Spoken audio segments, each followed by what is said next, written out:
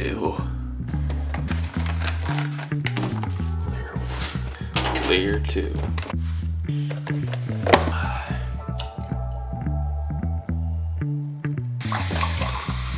That's to heat up the mug so the mug isn't cold, so it doesn't cool down the coffee because I like my coffee as hot as it can be.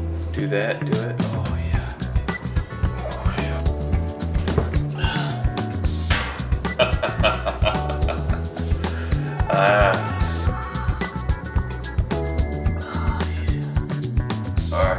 Nice easy ride in the morning. I feel like a spoiled rich kid who stayed home from school. Those are the goals. Those are the goals. but you gotta focus. What's up guys? So I'm gonna make this video vlog style because a lot of you guys have been requesting that I make another vlog. I'm super glad you enjoyed that and I wanna thank you so much for watching. However, if you're here for the title of this video, I'm gonna share that advice with you right now and then throughout the rest of the video, maybe I'll throw in some, some sprinkles. Oh geez. So I've been experimenting with intermittent fasting since 2013. That's when I started. I didn't start off like, you know, knowing much about it. I just was doing it so to keep my body weight light because I was doing a lot of breaking or break dancing. so power moves, you know, air flares, flares, flips, all that type of stuff. And like, you know, to have a bunch of food in your stomach when you were going to train, uh, sucked, you know what I mean? So I kind of started out just like messing around with intermittent fasting and it worked really well for me. Now since then I noticed a ton of different benefits about intermittent fasting when it comes to energy levels, weight loss, just other things as well. However, the big secret that I have learned from my experience that I want to share with everyone out there right now is if you are using intermittent fasting for just weight loss, if that's your main goal, then you can cheat a little bit. So if you're just really using intermittent fasting for weight loss and maybe for having a body that isn't like filled up with a ton of food um, when you go into your training session or workout, but you still wanna have the best energy possible, then a little hack that I came across that I realized is having a small meal under 500 calories before your training session makes me have way more energy than having a huge breakfast and also more energy than just intermittent fasting. So I get the maximum amount of energy having a small meal under 500 calories before a big training session. That way I can expel more energy in my training session throughout the rest of the day before I have my big meal later on. Now, very important, I don't do this every day. For example, yesterday I just did a 20 hour fast from 9 at night on Sunday, maybe a little bit before that, to 5 on Monday. I didn't eat anything, only water and a little bit of coffee. No keto coffee, none of that bulletproof coffee, just pure black coffee. That's the way we do things around here. Drip, drip coffee. So yesterday I did a full 20 hour fast. My energy was fine. I felt good. I felt clear. However, today I'm planning to do an intense workout in a few hours, probably in about four hours. I got some work to do. Uh, probably like six hours actually. Now I'm gonna share with you the small meal I'm going to eat. Man, I know it already. You guys are gonna make fun of me for what I'm eating. Okay, so here's the meal. It's a little weenie meal, but let me tell you, it's it's just what's gonna work the best for me.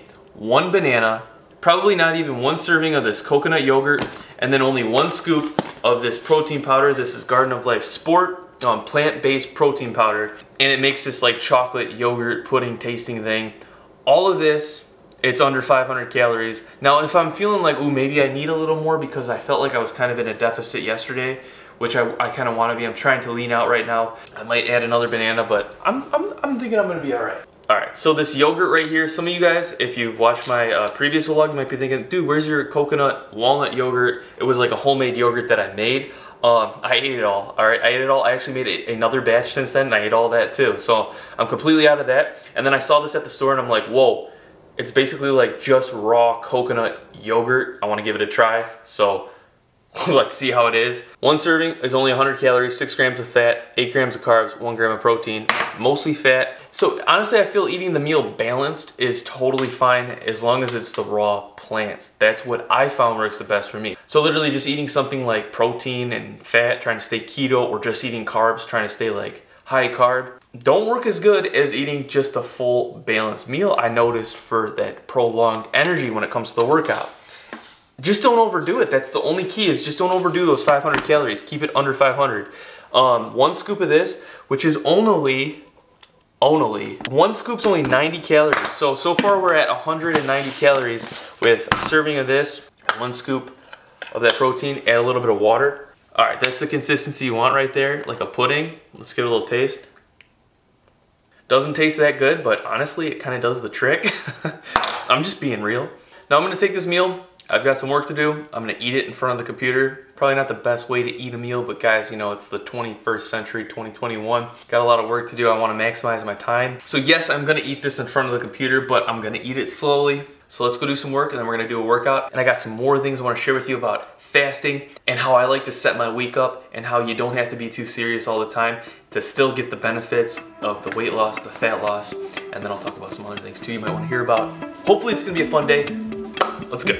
Yeah, we got a pink salt lamp. I'm a hippie, I know, shut up.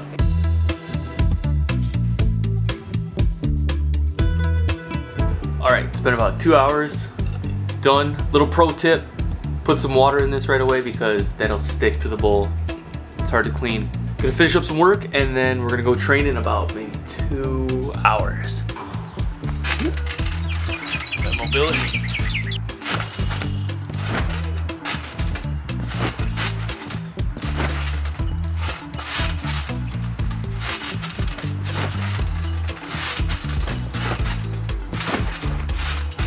It's getting warm out. It was literally in the 30s most of yesterday. Today it's supposed to be 80. 80 degrees, what? Real quick before we take off, real quick. Let's see where we're at. I never got this before, never got this. Captains of Crush, this is a two, so that's approximately 200 pounds, actually 195 pounds of squeeze force. You saw me in the last vlog, let's see if we're improving, okay? Oh, feel like that was an improvement. I'll have to watch that back, but I think I got like this much closer. All right, let's go, baby. Yo, when you're headed to the park, never forget to pack Bodyweight Beast 2.0. Oh, look at this fresh grass.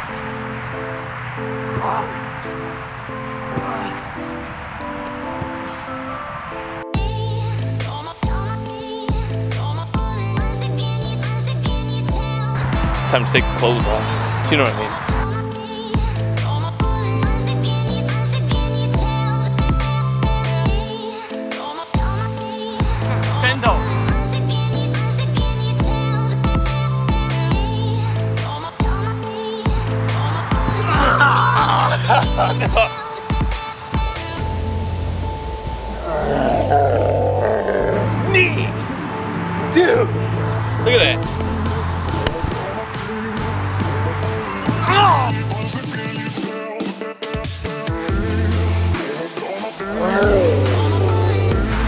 think, just do. You gotta focus.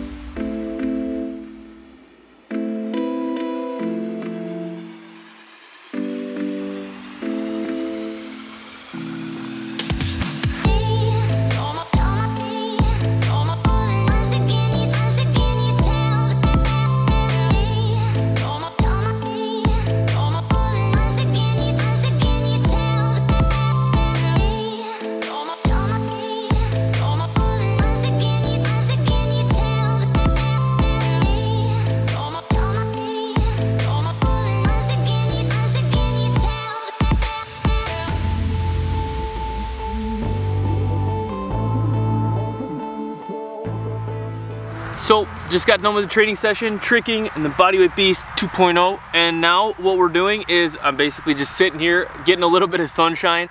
I don't feel hungry at all. I still feel like I have a lot of energy. I'm just still a little sore in the legs from not yesterday, but the day before. But yeah, other than that, there's kind of a lot of traffic noise, so I don't know how that's affecting this. So I'm actually gonna go to another park, and there I think I'm going to film a one minute tutorial video for you guys, and maybe also talk a little bit more about intermittent fasting since that's what the title of this video is.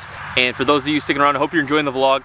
Thank you all so much for watching. You know, while you're at it, subscribe, hit that bell button, turn those notifications on, give this video a like. Other than that, let's go to the other park. Yeah.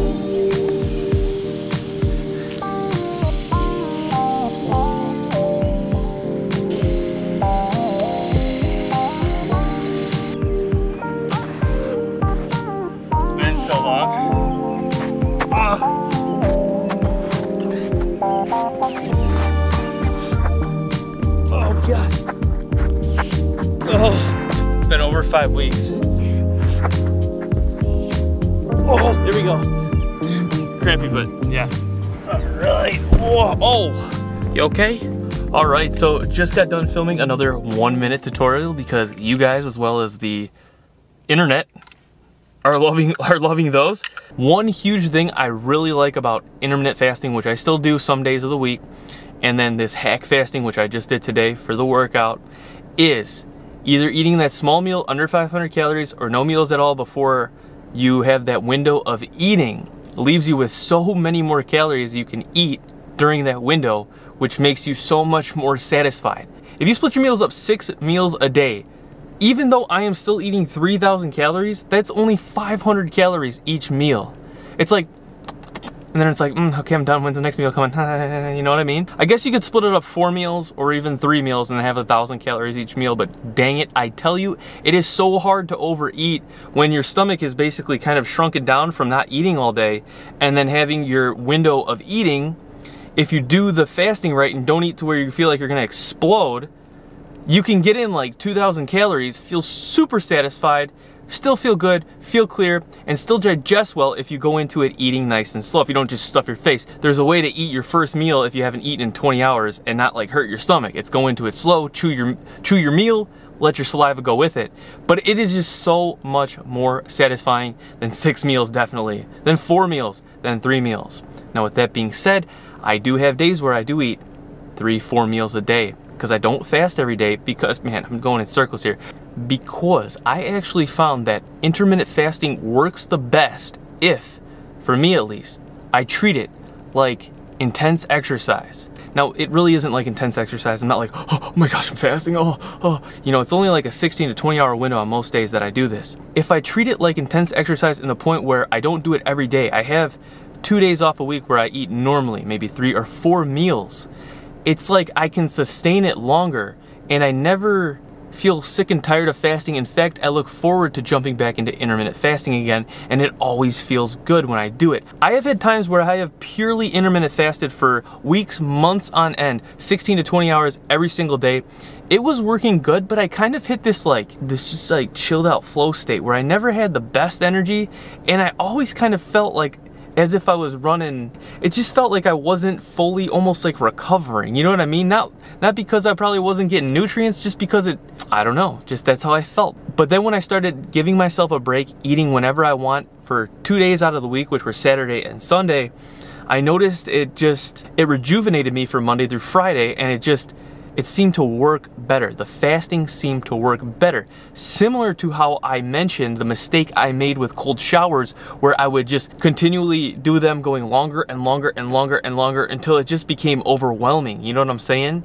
It's the same for intermittent fasting. It's like I do it five days out of the week. Maybe two days I do this hack fasting. The other three I do a full fast, maybe a 20 hour fast. But then on Saturday and Sunday, I eat whenever I want. I hope all of that is making sense so far. Sorry, this was a huge talking portion, but I feel like I had a lot of important information from my experience. This is not study based. This is just my experience, okay? I hope you guys enjoyed that. All right, going home and I'm gonna take a shower because I'm dirty, like dirty. Just got my lounge clothes on. Just chilling in Russell's house. If you know, you know. Yeah, I don't really separate my clothes. It's probably why they're always not looking right. You gotta separate the whites. That's why the whites are starting to look red. All right, so I'm in the process of cooking right now. It's actually, ooh, 6.30, so a little bit longer than I expected, but that's okay. I still feel good. I'm actually starting to get kind of hungry right now, which is perfect because we're eating. So, so a lot of people have said in the past, like intermittent fasting, um, you know, it's like, yeah, I wish I could do that, but I'd have no energy at work.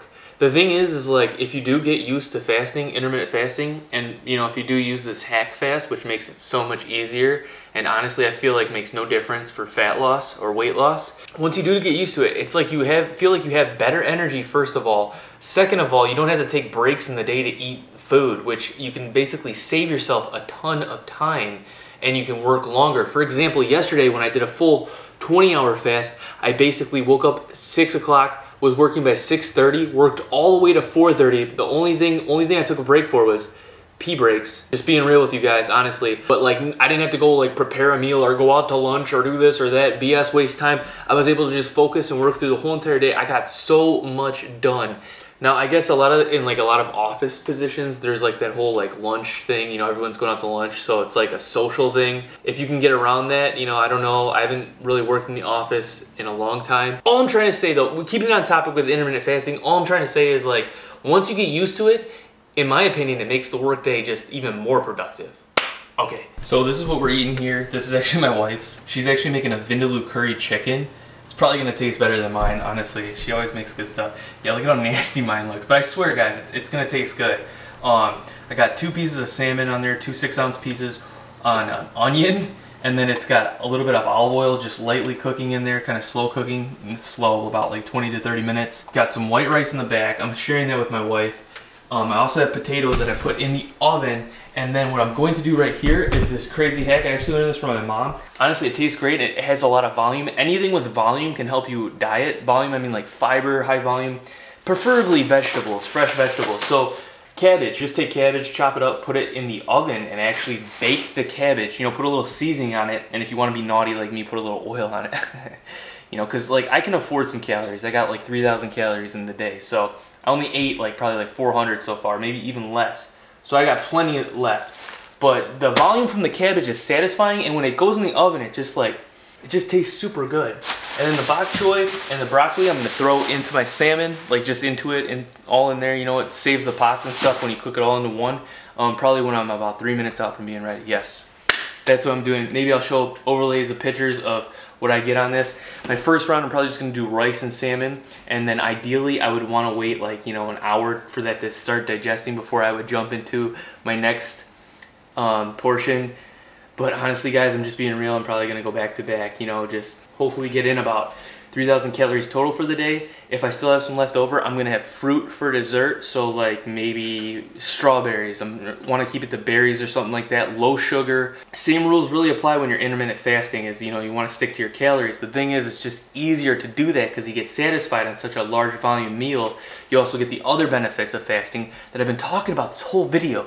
Sorry if that video was kind of like here, there, and all over the place, gray area here, you know what I mean? I hope I did a good job explaining to you guys what I was trying to get across, the point. What it is, is like you can really customize things so that they work for you and you can customize intermittent fasting so it works well for you. This is how I do it. This is how I've been doing it for a while now, here and there. It's not always rigid 100%. If you guys want me to make more content, fitness, nutrition, fasting related, anything like that, let me know. I have a fitness channel right now. It's Only Kinds Fitness. If you're interested in checking that out, I'll leave a link in the description. Usually there I post like follow along workouts, short nutrition tips, etc.